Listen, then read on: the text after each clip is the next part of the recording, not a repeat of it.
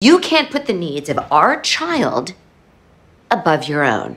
I'm not saying that. Okay, then what are you saying? Because I may not be a mother yet, but I know that's what parenthood means. So do I. Then what happens the first time he's sick when we have tickets to the ballet? Or there's a deposition at the same time as a parent teacher conference? Those are different. How? Because I would be giving those things up for him, not for. For me. No, you're not giving any of it up for me. You're giving these things up to have a child. Do you want to know what I'm giving up?